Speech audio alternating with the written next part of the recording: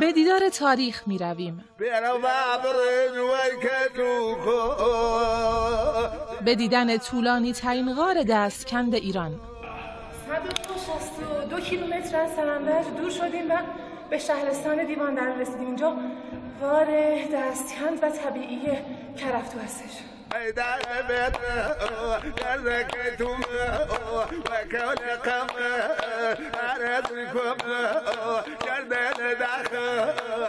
کرفتو که در 67 کیلومتری شمال غرب دیوان در قرار داره غاری از نوع آهکی و طبیعیه که در دوران سوم زمین شناسی شکل گرفته. در دوره تاریخی زندگی مردم اینجا سکونت کردن که دوره منایی و قبل از منایی ساکایی هم می‌باشه.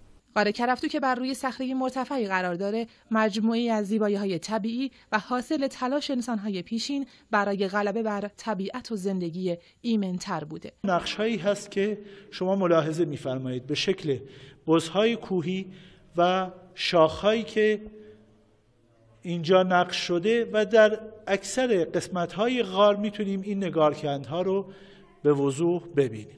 بر روی طبقه سوم غار کتیبه یونانی وجود داره. بر بالای این درگاه کتیبه به خط یونانی مربوط به زمان اشکانیان وجود داره که در این کتیبه از الهه هراکلس نام برده شده و متن ترجمه کتیبه این هست که اینجا خانه هراکلس است هیچ پلیدی در آن راه نیابد. از 2200 غار کشور که 12 تاش باستانیه غار کرفتو که دارای 750 متر طول بی‌نظیر نه ما از تهران اومدیم چهار خانوادیم سیزده نفر و برای دیدن غار کرفلو اومدیم. این غار واقعا فوق العاده است از نظر طبیعی واقعا طبیعی است و ما اینجور غار رو تو سطح کشور کمتر دیدیم. من اولین بارم اومدم ولی منطقه خیلی جالبیه.